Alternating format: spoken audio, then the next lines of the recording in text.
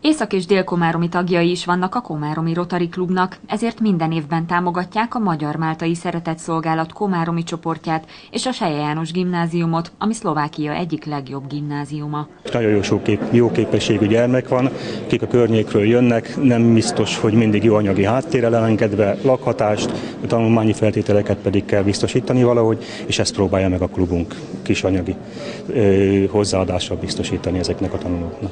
Ez a mai összejövetel speciális dolog, ugyanis a Rotary Klubok Szövetsége és a Magyar Rotary Disztriknek van egy olyan lehetősége, hogy pályázni lehet a különböző kluboknak adott témákkal, és most pedig a mi témánk az volt, hogy az Észak-Komáromi Sajánló Gimnáziumban a nyelvtanulást és az oktatást elősegítő technikai hátteret biztosítandó vásárlunk eszközöket.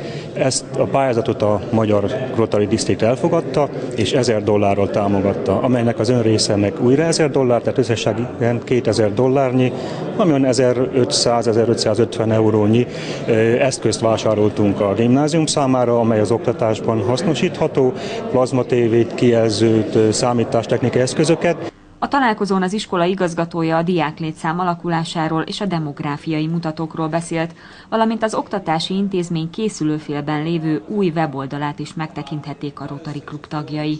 Az eseményen a Király Püspök Alapítvány képviselői is részt vettek, akik szintén támogatják a tehetséges, szociálisan rászoruló tanulókat. A diákok műsorral is készültek, és bemutatták azt a filmet, amely Sej János életéről szól diák szemmel.